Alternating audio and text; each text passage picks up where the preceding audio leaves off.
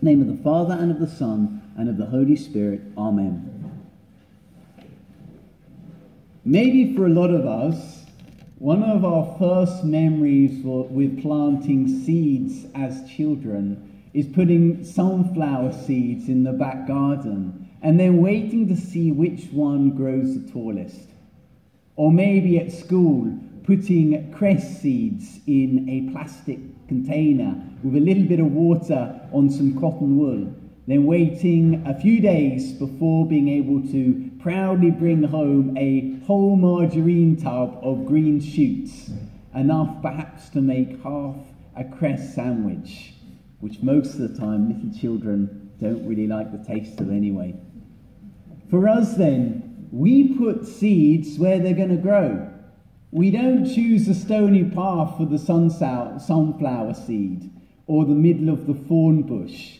We choose the best bit of soil in the garden that we have, or a pot. The parable of the sower presents us with a kind of weird sower. It's almost like he doesn't seem to be doing a very good job. If you sow seed on the path, of course it's going to attract birds. If you sow seed in the shallow ground, of course it's never going to take deep roots. But this is telling us something about the nature of our Lord. He is always reaching out with his grace to everyone, even those who are far from him. And even when those graces are quickly wasted by those who receive them, they get an answer to prayer, but then they forget about it the next minute and don't allow God's action in their life to change them to convert them fully to his friendship. Our Lord's death, the graces he won for us, the forgiveness he earned for us, it is for everyone. It's like the seed being sprinkled everywhere. But tragically, how few respond. As one prayer to Jesus crucified puts it, Alas, my Lord, how much of that precious blood you shed has been wasted. How few souls are saved. Often, when we look at this parable, we kind of think to ourselves, which soil am I like? That's the classic sermon that you get on this uh, parable. Am I allowing the Word of God to take a deep root in my life, to transform me? Or am I letting distractions and disappointments and the cares of the world chip away at my commitment? But I think probably the original purpose of this parable was for the benefit of our Lord's disciples, those who he called to share with him in the job of sowing the seed. I think he's trying to explain to them what they could expect from the next years of their life as they took on the task of preaching the Catholic faith to the whole world. So, for the disciples hearing the parable, they aren't asking themselves, What kind of soil am I?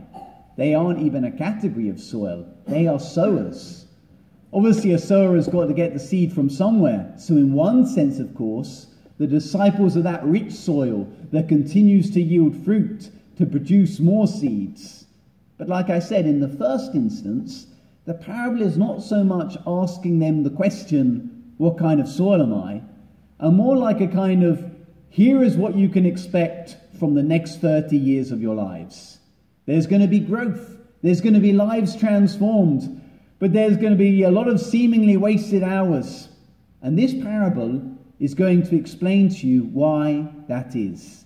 In short, our Lord tells them when you don't see success, don't be surprised. You are up against mighty, powerful enemies the world, the flesh, and the devil. But in spite of that, there will be breakthroughs. So keep persevering. Keep sharing your faith and do it as broadly as the sower in this parable. Because unlike with your back garden, where it seems obvious which areas are going to be good soil, it isn't like that with souls. Not always. When it comes to souls, first impressions can be very mistaken. And what looks like a stony path is actually fertile soil that has just got hard in the sun and is only waiting for a bit of rainfall to soften it. That's why we should always be ready to share our faith with others, especially when we see an opening, but also more broadly. People should know that we are Catholics. People in our class at school should know that we are at Mass on Sundays. It should be something natural and obvious to the people at maybe our swimming class, the book group, the workplace. Not something imposed weirdly, but naturally manifested in our conversation topics and how we act.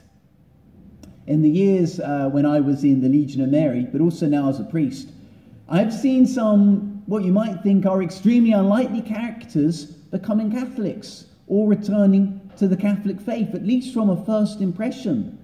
What I mean is, we shouldn't presume we are dealing with a stony pathway just because there's a kind of firmness.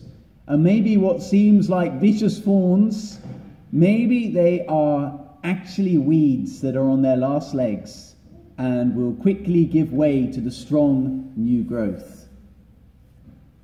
The parable of the sower, then, when you begin with the question, What kind of soil am I? isn't totally helpful. And the other reason is, none of us are probably one type of soil entirely. There are parts of our hearts not fully open to God, and there are some parts that are more open. Probably there are some topics that if I mentioned at Holy Mass, it would be like the seed would be blown away immediately for some of you.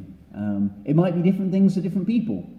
And we need to be aware of that. When we see that seed being blown away, picked off by the devil, we need to be aware of that and later on go back to that teaching and try and ponder why this might be the case, how that can be corrected. Because it's not like I'm sharing a different religion. I'm sharing the Catholic faith, and it's my job to share it in its entirety. And then, probably at the same time, there are maybe other teachings that I might share which you're going to be really receptive to. And maybe already there's a lot of fruit in your life being, being born in, in those areas. So, we're not so much types of soil. Each of us is more like a gardener over a patch of land. We aren't static single, types of ground that can never change. We're not ground that's just entirely passive. Um, we are gardeners responsible for the land that God's grace is forever being sown upon. And we need to keep an eye on what is happening when the seeds are landing, both at Sunday Mass, but also when you're praying each day, when you're reading, reading books by the saints and listening to Catholic sermons on YouTube. God is expecting a return. He's expecting when He returns for your garden to be in order.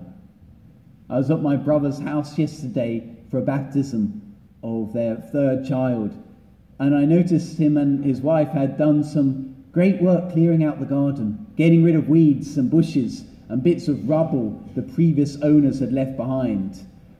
But they've only completed phase one. Really, the, the bigger job is phase two, making the garden beautiful, putting some turf down and working on the flower beds.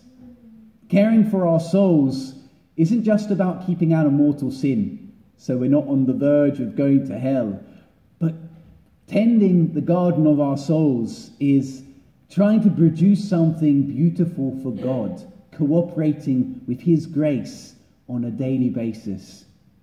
The parable closes with our Lord speaking delightfully, joyfully about the rich soil and the crop that it's produced. There's a sense in which, if your soul has become that beautiful garden for the Lord, then you give Almighty God such an immense delight that it makes up to Him for all those who just ignore Him or reject Him. Wouldn't that be an amazing thing, an awesome thing? for God to look down proudly upon you, seeing the transformation that's taken place in your soul, and for that beauty to make up to Him for all those who are living far from Him.